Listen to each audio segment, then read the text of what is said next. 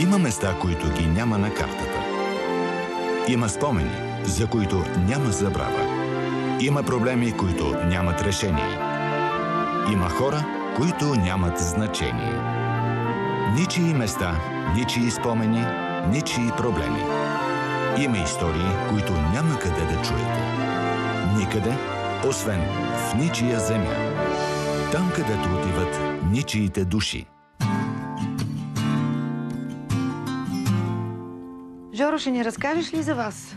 Ние сме родени в Гоце Делчев. Оттам сме родом. Обаче нашия род Витанове е от това село. Моят прадядо Никола, дядо Колю, даже е бил кмет на селото по време на Балканската междусъюзническата война. А, заповядайте. а. Бай, бай го, бай го така. Бай го, а? Това са прадядо ми и прабаба ми. Това са дядо ми и баба ми. Дядо Георги и баба Митра по бащина линия. Това са майка ми и баща ми. Ще мълча малко, Люка. Толкова той не може да изтрае така. Мълча малко, Нищо, Люка. ще става и ще се връща. Да. Той си отиде при приятеля, При ще го върнем тук. приятеля, да. Какво се кара? Най-добрият приятел на нашите приятели Панчо и Жоро.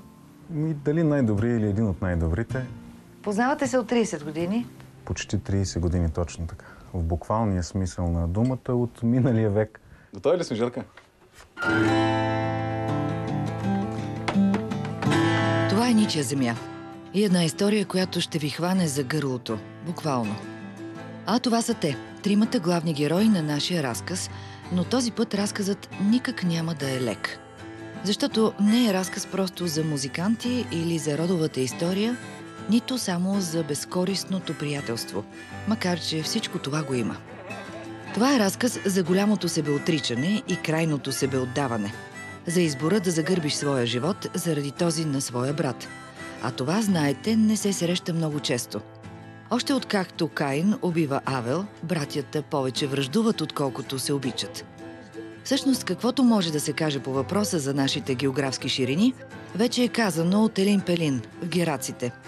Но българският народ има и поговорка – брат брата не храни, но тежко му, който го няма. Ще ви я припомня отново накрая. Но тогава вече с пълна сила ще си дадете сметка защо. Ти бе снимаш ли? Снимат?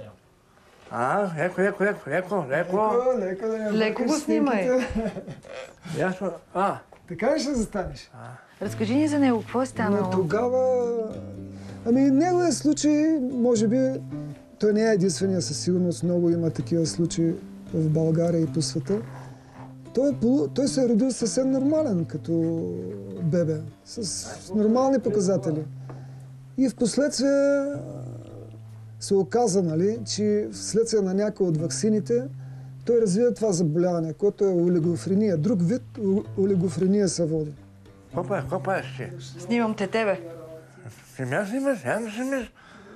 Е, Той по поведението му го разбират моите родители. Значи, Бил той е- едва на 3 години. Да, той е, е, той е 4 години по-малък от мен. Аз съм роден 65-та, 1965, той е 69-та година. И аз съм бил малък, когато за първи път са се проявили така и много добре не си спомня това, но помня вече, когато а,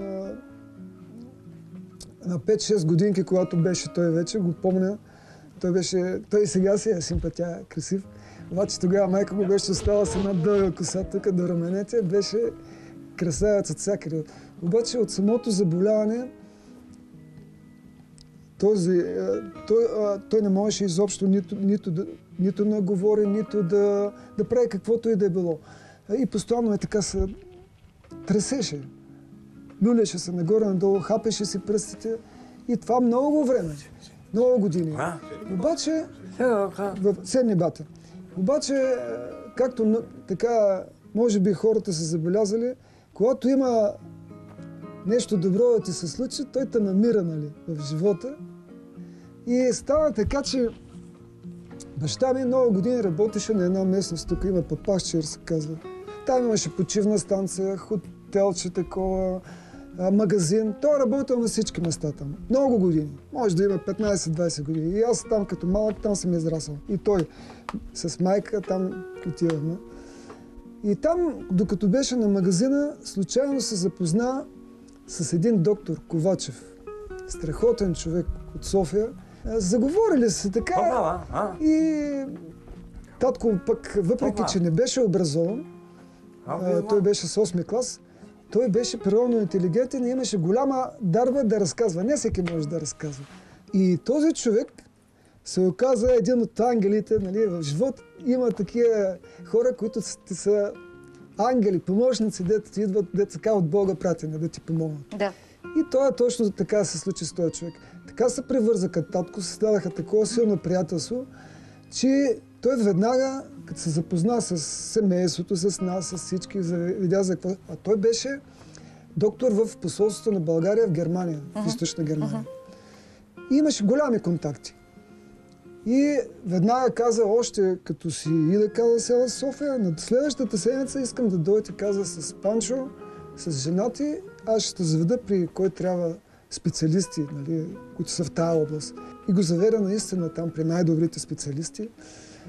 Те, след като ми разказаха нашите как се е случила цялата работа, точно установиха, че нали, това е, се е получило именно от вакцината. Те му бият вакцината на, на 3 години, когато е 3 годишен Каза се, не знам как се бият там на две или три ли години, да. А, и вече на 4-5 годишен, когато е той То се, се проявява вече то се започва. Те не са предполагали, че Е, нещо да, се тя, те бяха така стресирани, оплашени от това. Специално майка най-вече ми. Но и баща ми, нали, притеснен как, какво да правят, що да правят, нали. И този човек го закара при тези професори. За съжаление не помня имената им. И изписаха едни лекарства, които той изпрати от Германия. Тук ги нямаше в България. Тогава, след това ги, след време се появиха, защото ги пиеше много. Години. хопа, Пет години ги пиеше. И точно така му беше казал доктора. Ще ги пи 5 години и спира. И вече те почват да, да си дават ефекта във времето. И така се получи. Той не можеше нито да говори, нито да прави елементарни неща. Спокойно, бат. Я, я, я. Има се много те хубаво. А, изобщо нищо. Беше изцяло зависим. И а, като мина време започна така. По някаква дума, даже първите думи дед бяха, защото Войчо ми Бог да го прости Симо, беше овчар. И Панчо с него, той много го обичаше ми. И с него. И вика там и обаче като се ядоса почва да псува, нали, мамка ви, това но, нещо там. И Панчо първата му дума, дед беше, беше това, мамка ви, стопанка. Първото, което се научи е да псува. Да, това беше първото. Кой И и овцето. Войчето, да, и с него. И той вика, ай, Войчо, Войчо. И Панчо ги кара с една тояга. И така. И вече постепенно с годините почна да, да казва думички, така, да навързва изречения, така. И така след 25-6-та година вече и поуспокои се, най-важно. Поуспокои се. Тези постоянни нали, подскоци, дето правеше ръцете, треперене, стихна това изчезна. И сега много рядко, когато е под много голямо напрежение, почва така да се люля, както сега се клати или нещо друго така. Я така да загладиш е мустака. такъв. А, Сега така. малко се притеснява, ама иначе... Притеснява се, ма да заглади мустака. А, Ако- А, така. а, така, бате. Тук да те снимат. А? Леле. Я, бе, а, така. А, така. Най-хубавата снимка на Панчо. Няма мата, бе. Е, За този възрастен, нали, вече. Но като години, Но той в развитието си остава дете. Значи, Сега е на колко? На сега е на 53. 53. На 53. 53. Обаче все едно си е на 3, 4, 5 години. а, Защото те са абсолютно, Колко абсолютно чисти, абсолютно чисти. Ние обикновено, те наречените здравомислещи хора, не можеш да достигнем тяхното състояние на чистота, на любов. Изключвам. Ние само може да се учим от тях и това е по някой път, защото казват, е, някакви хора на, те съжаляват и казват, е, ти хаки? така с брат ти или вашето семейство, нали, е толкова тежко това, но... Абе, сега има неща в живота, според мен, дето са ти пратени, си ги, се, Ама, се, ти се случват, за да научиш нещо, за да придобиш някакъв, за да подобриш нещо себе си. И така го осъзнавам аз този случай. Впоследствие с времето, макар че като малък и аз съм се, нали, съм се притеснявал и така, защо сега така, защо така. Нали? Обаче виждаш, че това е, когато контактуваш с такива хора, ти разбираш кое е важното в живота. За мен е така. Аз не съм чул никога в тяхната къща, в тяхното семейство и, и бай Иван, Бог да го прости, тяхния баща, който познавах лично, никога не са се оплаквали, никога не съм ги чул да са казали защо точно на нас, защо точно ние, защо точно по този начин. Това за тях със сигурност не е наказание. Може да е всичко друго, но не е наказание. И ти, когато живееш с тях, ако осъзнаеш по този начин нещата, почваш да мислиш вече по друг начин. И ти е в тежест. Ти не го чувстваш да тежиш. Въпреки, че има случаи, когато сега, като сме само двамата, примерно, има някои ежедневни неща, които се налага, а, примерно, той да не е до тебе, нали? Трябва да го оставиш някъде, нали, на, при близки или при някои така приятели. Но вие не се разделяте. Той не може без не, теб. да, ние не се разделяме. Ние сме абсолютно Като скачени съдове. Да, така беше и с баща ми. Докато, беше, докато аз бях на работа, ви, примерно през деня, те си бяха заедно. Той не може да, не може да се движи сам а, от Сам една до друга точка. Да. Не може да се нахрани сам. Не може да А, остава той може сам. да се храни с лъжицата Да, сам, да. нали? Обаче да си приготви нещо, нали, манджа това, ама... Не, едно елементарно нещо, примерно, ако му се прееде и види там сиранца или нещо, ще си вземе, ще си хапне, нали? Обаче манджа нещо, храна специално да си нареже, да си направи, да си приготви, не може. И в... Има си негови нужди, такива и лични, дето той не може да се обслужва сам, нали? Трябва да му помогнеш. Защото той не държи много на тези неща. В смисъл такъв джаста праста. Дори ще е на ръцете, само така ще ги подаде и ще мине. Точно като децата как правят. Като му кажеш, иди се измиете от тия леко пръстите и да го няма, нали? А и той същата работа. Ако не го видиш, няма да ги изми хубаво. Или трябва да му помогнеш така. И, и за туалетна, и за всичко трябва. Имат си тези нужди. Макар, че той е в това състояние е супер, нали? Аз много се радвам, че, че има е, деца и хора, които изцяло са зависими от други хора. Изцяло във всяко, във всяко отношение. Не може да ги оставиш е, на автопилот, те да ходят някъде си. Повечето го познават, примерно, по махалата, по града. Но той никога дори не е проявявал желание да тръгне сам на някъде си. С някой приятел, с някой познат, може да го закара с него, нали? Защото той като тръгне по улицата, той не се пази от колите. Той се вери по центъра на пътя и си шляпа, се гледа на някъде. И Той е в неговия свят. той си е... Не, не, той си... В, за него... Няма не- опасности. Няма опасност, да. За него няма опасност. Всичко е... Просто си се кефи на нещо друго, радва се така, споделя си, нали, говори си и си гледа надясно. Не може И да се пази сам. Не, не, не се ангажира с това да, да следи движение на улица, на хора и така. И, и така. Сега се усмихваме на това, защото то наистина е по-детски, по-детски чисто. Но то е много опасно за него. Това е ситуация, която налага ти да бъдеш денонощно с него. Да му се посветиш денонощно. разбира се, разбира се, разбира се. Мажоро, ти Някой нямаш, трябва да ти нямаш семейство. Ами вижте, това е, този въпрос с, с семейството е важен. И е много хубаво да имаш семейство, да имаш жена, да имаш и деца и така нататък. Но това, според мен, може да се случи само когато срещнеш такъв човек, който да, да те приеме такъв какъвто си, с всичко, което е покрай тебе. Нали? Така го разбирам аз. И за съжаление не съм срещал такава жена. Ако срещна, окей, Която да, приеме, веднага. която да приеме и тебе и Панчо, нали? Абсолютно. Да, не само и мене и Панчо.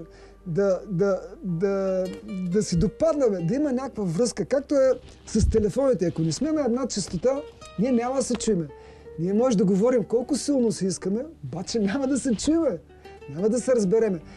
И много, много пъти така съм се замислил и казват, гледай сега, ами ти като си, примерно, не дай си Боже, нещо да се случи това, ама трябва един вид трябва да ангажираш близки, роднини, приятели и така нататък, или семейството да са задължени.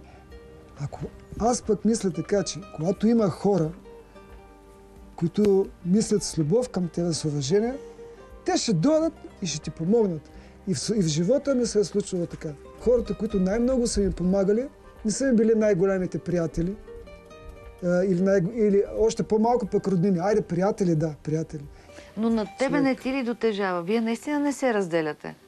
Вече не ми дотежава. Честно казано. Някой Колко може... години, колко, колко години вие сте свързани денонощно? Ами, 10 от как се пенсионирах, когато напуснах армията, полицията да, в последствие, сме почти постоянно заедно, но първите пет, докато беше жив баща ми, и той беше тук. Имало случай аз да си гоня разни други неща и така. И сега, последните вече години си сме изцяло заедно. Но той също има хора, които харесва и които не харесва. Така че Той- той, не се много- съгласява да остава с всеки, нали? Така е. Така е. Панчо, ти имаш ли приятели? Аз аз каква кака. Ето го един приятел до него. Да. Имам си приятели. Защо за теб Жоро е специален и по какъв начин Панчо също е специален? Панчо е душичка. Панчо е, как да кажа, нещо, което е много свято, много, много чисто, много, много светло. Панчо се радва на много мънички неща. На една щупена запалка ще се радва много повече, отколкото от някакъв скъп предмет или там каквото и да било. На празното шишенце повече, отколкото на съдържанието в него. Даже тук се сещам, веднъж се бях върнал от някаква международна командировка и им бях донесъл скъпо уиски. Тук да имат за, за, за гости, когато идват, Жоро не пие. Но като идват гости, особено за имени дни и така нататък, и след няколко седмици беше точно Георгиев ден, дошъл съм им на гости, разбира се, и, и Няма с какво да те почерпят. да, Байван казва, знаеш, баща им казва, абе, знаеш какво стана с моя уиски? Какво стана, Байване? Ами, той вика, Панчо, харесал си шишенцето, издебнал ми, издебнал ни, взел шишето, казва, хоп, уискито в мивката, празното шишенце му трябва. За него това е ценното, за него това е нещото, което го прави щастлив. Разбира се, че няма да се сърдим. Пак ще донесем и две, и три, и пет, и колкото трябва, но това са моменти, които ние можем да почерпим а, голяма полука и, и дори тема за размисъл. Това е като домашна работа за всеки един от нас. Да помислим дали материалното наистина е важно или емоцията, т.е. духовното, не материалното е много по-важно. Особено когато виждаш, че един точно такъв човек е щастлив от какво? От празна шишенце. Да, точно така се получи. Ето ги сложи някъде. А, А те пък и дори се опаковат. Ето е нашата. Това е ценната част от бомбонерата. Той обича котейки и бутилки, празни котейки и празни Да, бутилки. ето, това, това ни е ценното на нас. Другото ни не вълнува. Бомбоните, пържолите. Аз хочу, Алкохола. Нека го изпият приятелите, да се радват, да живеят. Кой е това, бе? Котика. Котийка е много красива. Но загърбил ли е Жоро собствени мечти, собствен личен живот, за да се отдаде на Панчо? Ам, не бих казал загърбил. Просто животът върви в своето темпо, в, своите, в своя коловоз, когато Отдаден. е тръгнал. И така или иначе трябва да бъде отдарен. И, и прави му чест, че не е избрал другия, по-лесния път. А, както бих казал така на жаргон, да се отърве от проблема и оттам нататък да върви по някакъв негов друг път или друг по-приятен, по-лесен или какъвто там да го наречем. Не. Той е решил, че това е неговото всичко. Брат му, грижите към брат му и всичко свързано с това. Вероятно, наистина, докато не станем като децата, няма да го разберем и няма да се разберем.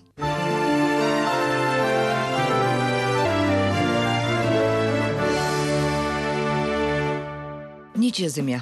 Запознахме ви с вероятно най-дълго вярващия човек в дядо Коледа. Цели 53 години или над половин век. Това е Панчо. Позволи ни да гостуваме в дома му. Свирят Джоро и Илия. За него, за нас и за всичко онова, което не виждаме. С тази песен ще разкажа за невидимите хора, дето всеки ден ги срещаме, но поглеждаме отгоре. Панчо, Жоро и Илия.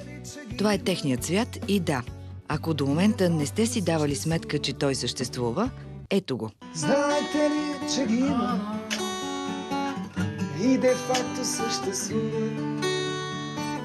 Знаете ли как се хранят, как се смеят и сънуват? Автор на песента, която чувате е Жоро. Пее Жоро, вдъхновението е Панчо. Провокация е всичко онова, което предопределя хората като, цитирам, конфекция. Как се и сънуват? Е, е. Добре, обвинявал ли си, защото очевидно си вярваш човек, обвинявал ли си съдбата, Господ, а, някаква некадърност на лекарите за това, каквото се е случило с Панчо? А? Ми, да, защото вакцина, а, която съкътява, нали, това... Така е, да, така е, верно е това. Това е вече, което самата система, самата държава, аз не знам дали, а, може би, някъде слушах, че има хора, които не поставят вакцини на децата си поради тези съображения. И в тях има някаква логика, защото вие, всяка една вакцина, поне от това, което знам аз, съдържа вируси, които трябва да препарадуваш, които трябва да, да, да създадат в тебе антитела, нали, за да може да се справя с тези неща.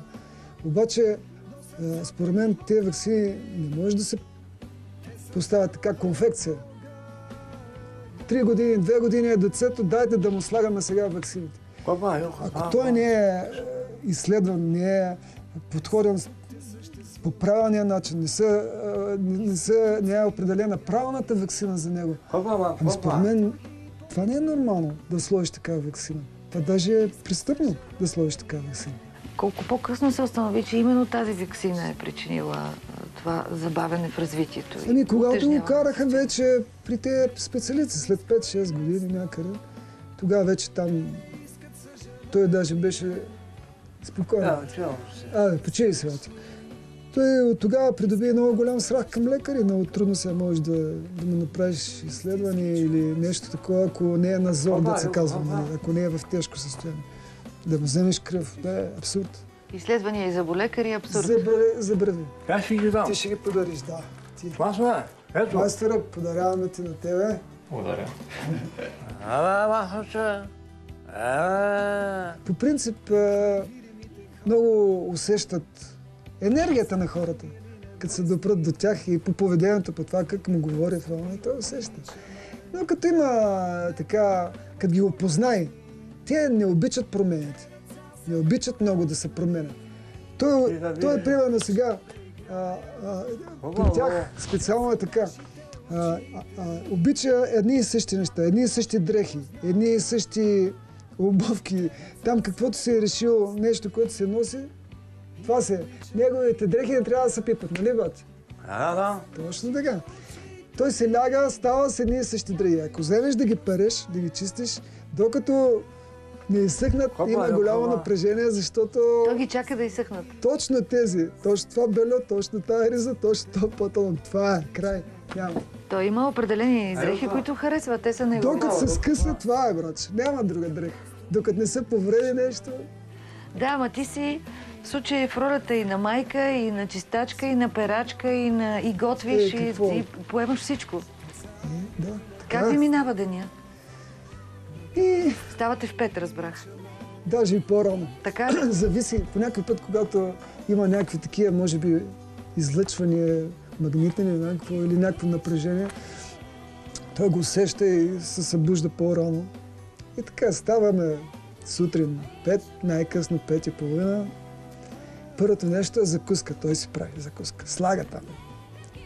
Каша, казва той на тия овесени, хляб си дроби, всичко си слага, какво му е кеф.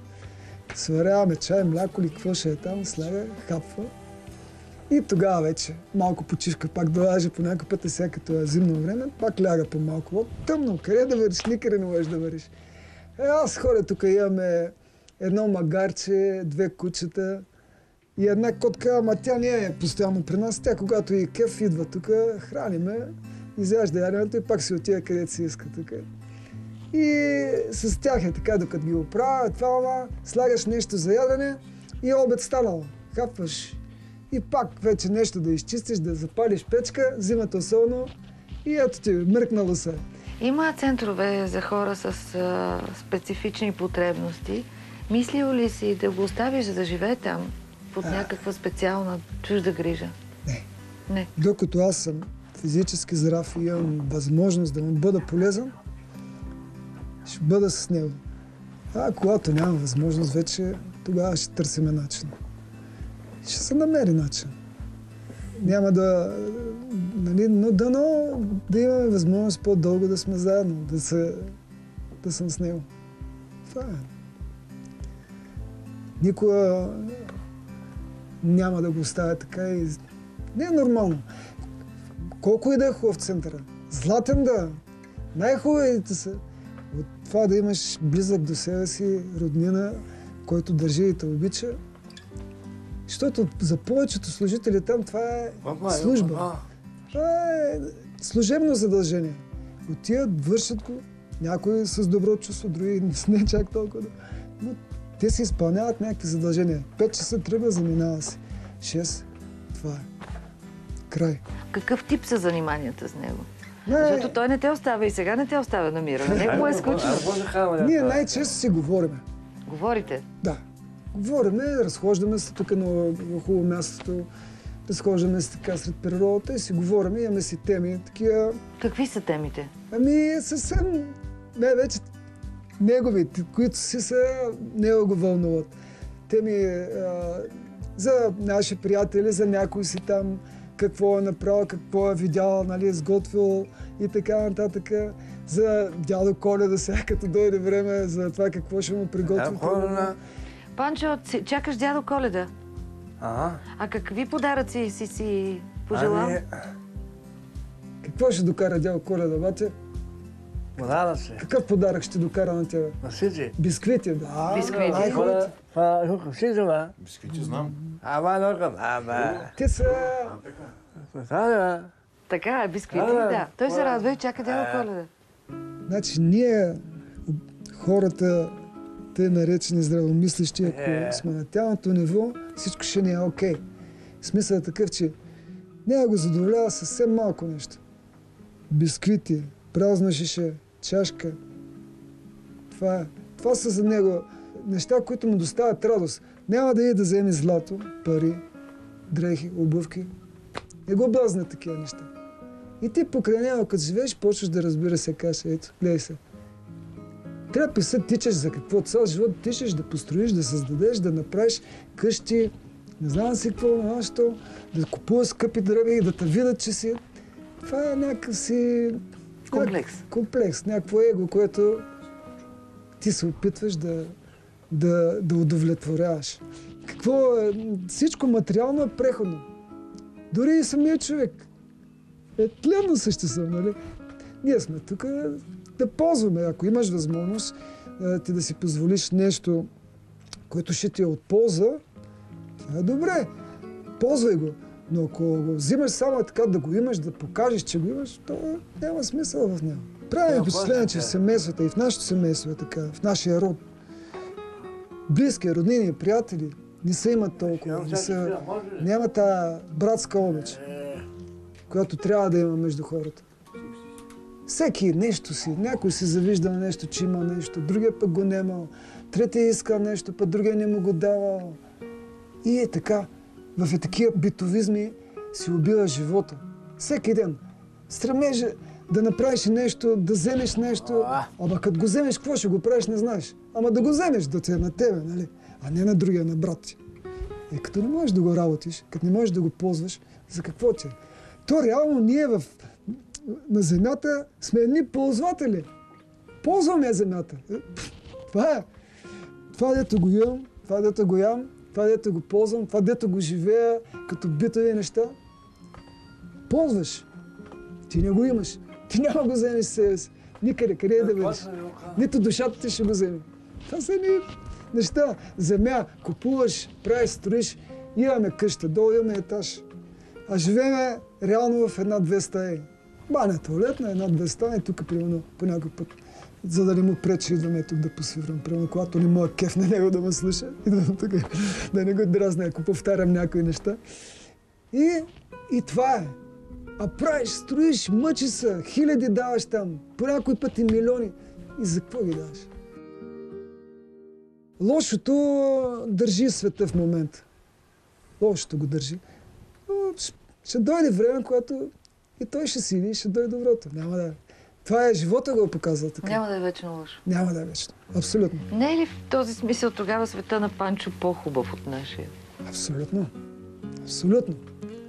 Това е тяхния свят. Той затова и Бог казва, докато не станеме Христос, да, докато не станем като децата, ние няма да, да може да, да спасим, да, да, да, да се родим за нов живот. С тази доброта, с тази наивност, с, с, с това възприемане на всеки срещу теб по най-добрия начин.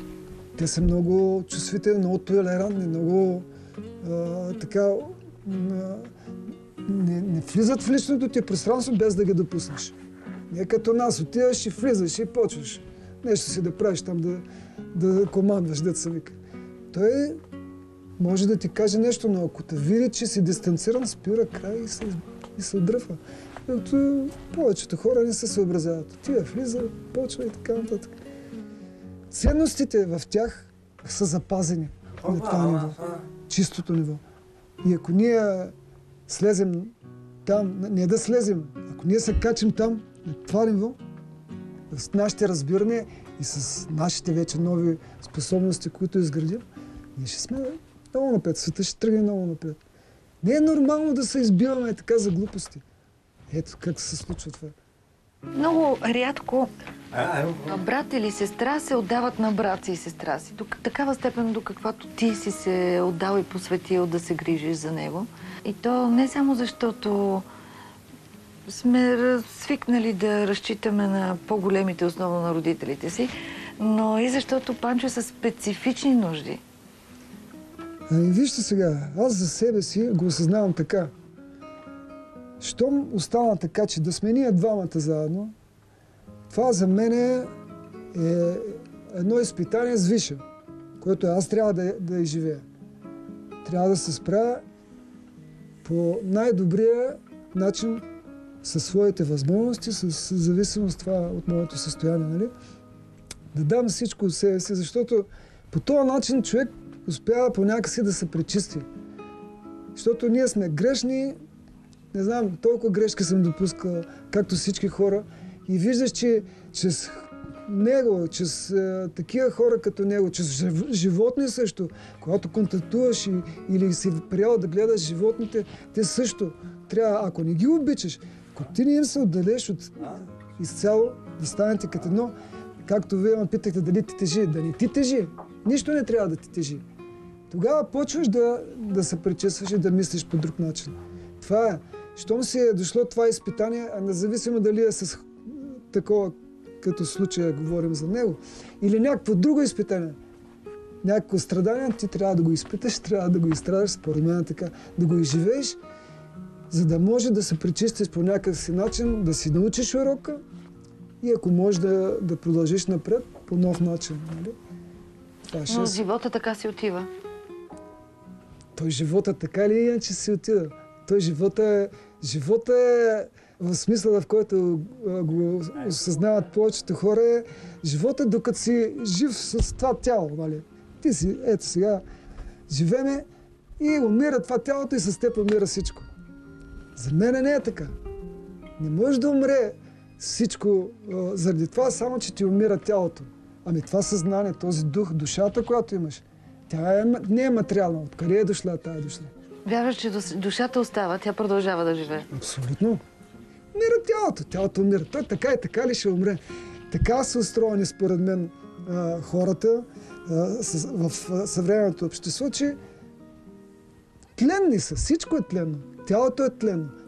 Когато идваш тук, е, той ти е един дар, един вид училище, който трябва да преминеш ти. Тук, в тази форма, в това състояние, идваш, учиш се, правиш какво трябва и заминаваш. Къде заминаваш? Не знам. Но заминаваш, продължаваш. Той казва ли ти обичам те? Истински усеща ли какво означава това? Вижте, Той го Изразява казва ли чувствата си? Изразява ли чувствата си по този, по този начин? начин, да, изразява. И той лично много обича да казва на хората, дето ги обича, че ги обича. И на приятели, не само, на близки. Като ги види и ми каза, нали, първо ги, той ги пита така, обичаш ли ме? И, а, и казва, обичам те, обичам те. Той така как ми казва, обичаш ли ме? Аз те обичам. обичам. те». Панчо, ти обичаш ли Жоро? Не знам. Да. Караш ли се с малкото си братче? Имате ли Последно- спорове? Имате ли спорове? Последно време е рядко, но пред... карали сме се, случвало се, да. Защо? Обикновено защо? Защото не те слуша или... Не. Да, в този смисъл, да, като искаш нещо да го предпазиш ли да не се слуша, па той се е решил, че трябва да го направи. И Примерно пипата. бомбоните. Примерно бомбоните. Бомбони не е фен на бомбони, но вафли ядеше много, такива е, круасани, да, вземаш. Но бомбони не е фен на бомбоните.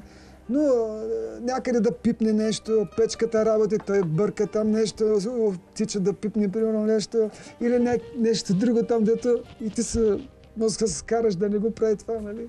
По някакъв път инстинктивно се скараш за някакви глед глупави неща, защото той си е прав, реално иска нещо да се вземе, което му, на него лично си му трябва, той човека трябва да си го вземе. А пък ти сега в момента не искаш да му го дадеш, защото си заед с нещо си друго. Е, ще му го дадеш, за да има мир и да тръгне работата. Значи той така или иначе си постига своето Панчо, когато реши.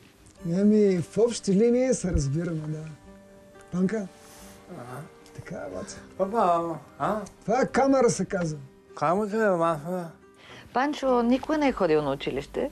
Не, А, никога може не да е ходил. чете, но м- интересно ли му е ти да му четеш?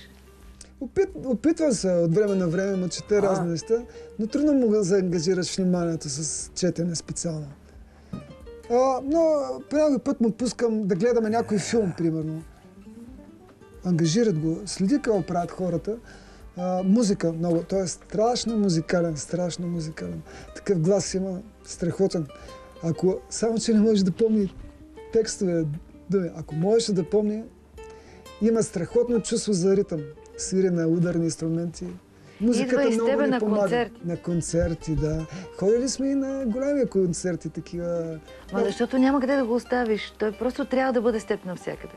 Не, не точно заради това. Просто исках да видя как ще реагират. Те по принцип, на, на когато имат много хора, това да се натоварват. И, и зависимост от концерта, от средата, която е, много често, когато не му пасне, сме тръгвали по средата на концерта. Тръгва, ставаме и се заминаваме, ако не му хареса. Примерно последния път беше на концерта на Хат и Джоли Търбе в Благоевград.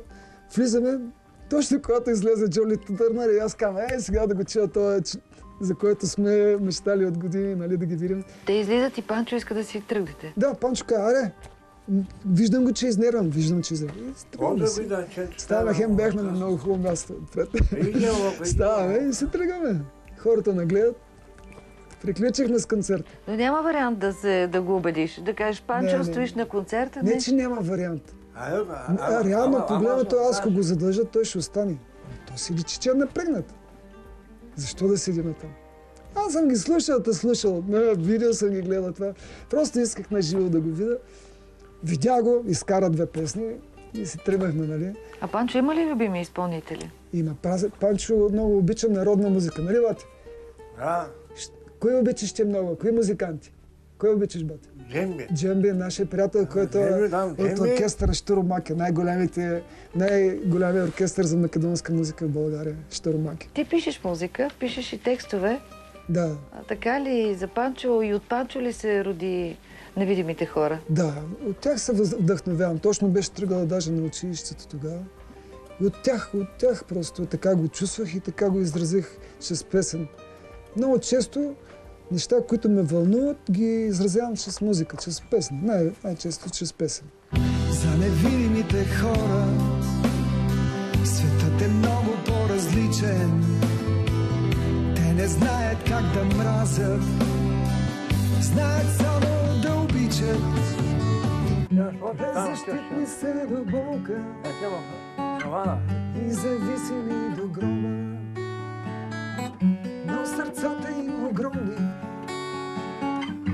Те са дарове от Бога Да, хубаво е да кажеш за този клип, защото аз а, исках да направя клип за песента, обаче нямах възможност да направя някакъв този, такъв клип, който да ме задоволи мене. И случайно по радиото слушах за интервю с една фотографка, Ани Йончева се казва, която снима деца, основно деца с такива проблеми. И из, изв... издириха по интернет и извърнах така и е, я помолих. Попитах я дали ще може да ме разреши да ползвам снимки за клипа, защото много хубави, така жизнерадостни са снимките. Не да бурят съжаление, а бурят така размисъл и вдъхновение от тяхното Всички, всички се усмихнат. усмихнати са, едни жизнени, такива много хубави. И тя, жената се съгласи, предоставя ми снимки. И вече тук си ги монтирахме в студиото на един приятел. Така стана студио. клипа. Така стана него. клипчето, така го направим. С подръчни средства, се казва, но снимките са от тази жена. Тази част от историята, която каза Жорката, е наистина А. точно така. Има една друга част обаче, за, конкретно за невидимите хора. Клипа се получи. Повече от страхотен, повече от е, така, точно в десетката. Опитахме се да го... Опитахме, казвам, защото и аз съм въвлечен по някакъв начин да, да помагам с каквото мога и колкото мога. Да го представим в една класация. Първо в една радиокласация самата песен. Ам, след това и в една телевизионна класация, 10 плюс 2 се казва класацията, откъдето ни казаха, че това са просто едни наредени снимки. Това не е точно клип. Тия хора дали го бяха изгледали поне веднъж. Той, той веднъж дори да го гледаш клипа е достатъчно, за да разбереш дълбината на, на смисъл на точно по този начин подредените фотоси. Така и не се получи. Разбира се, не е въпросът а, в клипа, а в посланието и в а, ефекта, който би евентуално придобил, на, ако тази песен достигне до повече и повече, как да ги наречем, потребители, според а, а, преценката на Жора, защото Не, доста хора- хора, хора- слушат музика чрез ушите си. Още музика за очите, ушите и душата след минути. За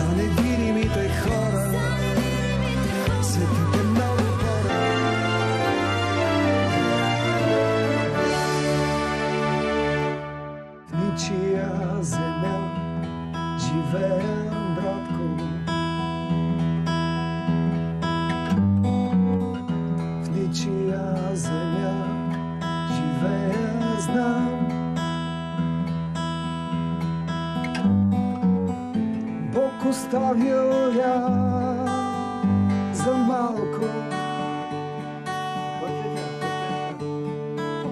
и сатаната бързо се намъкна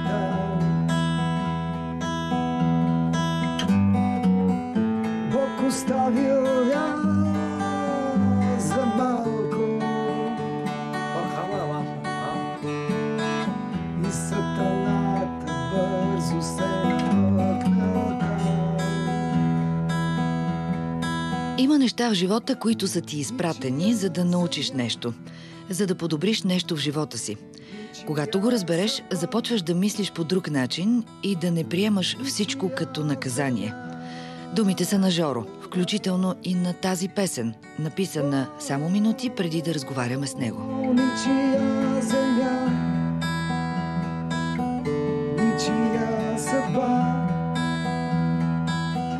Ничия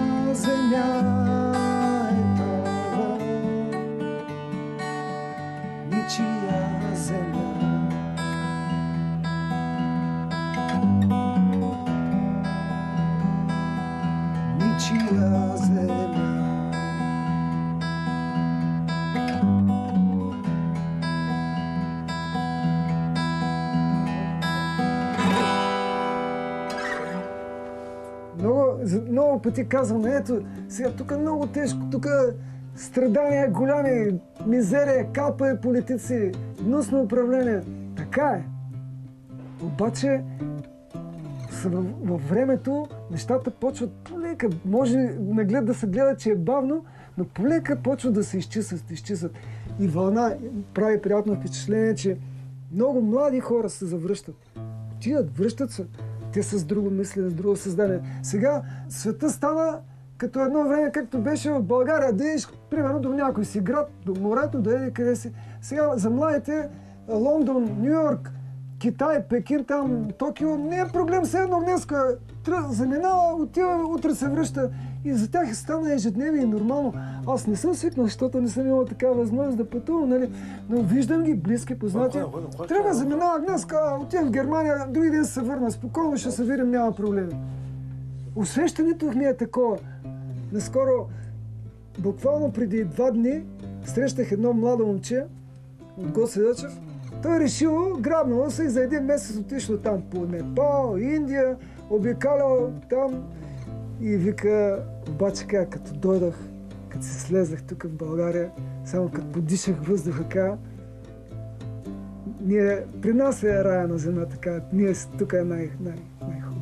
А гласуваш ли? Гледаш ли, слушаш ли новините по радиото? А, интересувам се, но последно време не гласувам. За кой да гласувам? Вижте, не е нормално, не е нормално да, да ти дадат шанс да управляваш една държава и ти да се подиграваш по този начин с хората, как го правят нашите политици. Сега, какво правим сега ние? Ще да гласувам и ти един час. Това, погледнете, погледнете тази къща, която е под нас. Погледнахте ли? В какво състояние? Същото състояние е държавата. Защо? Тук има 8 души, които са наследници и не знаят как да се управляват имота. Къщата падна. А в тази къща на времето снимаха филми от мъжки времена, от... много красива, много хубава къща. Стара къща. Мера според мен са снимали сцени тук. И така нататък. Същата работа е държавата. Абсолютно същата. Слагаш ги тези управници, застават там и почват да делят. Какво ще делиш? Няма. Тази държава се оправи само когато е така хората намерят общ език и почват да се разберат. Ако те не се разберат, ако те не правят компромиси в интерес на, на, на държавата, в интерес на народа, е, как ще тръгнете? Никой няма да тръгне. Избори, за една година три избори. Не е смешно това. Е. И как да идеш да гласуваш за тези хора? И после казват не гласуват. Вие са, те се подиграват. Това е ненормална ситуация. Аз затова, за мен има една така максима, за мен си се направо. Като изчезнат политиката, парите, полицията, правосъдието, всичко ще стане ок. И проституцията, всичко ще стане нормално. Пете П. Къде живее, братко? Къде живеем, братко? Къде живеем, братко? Знаеш ли? Там, където всяка сутрин новините започват с убийства и с лъжи. Дори пожеланията за изчезването да не ви се струват реални, грижите, обичта и усилията в този дом бяха свръхчовешки, но реални.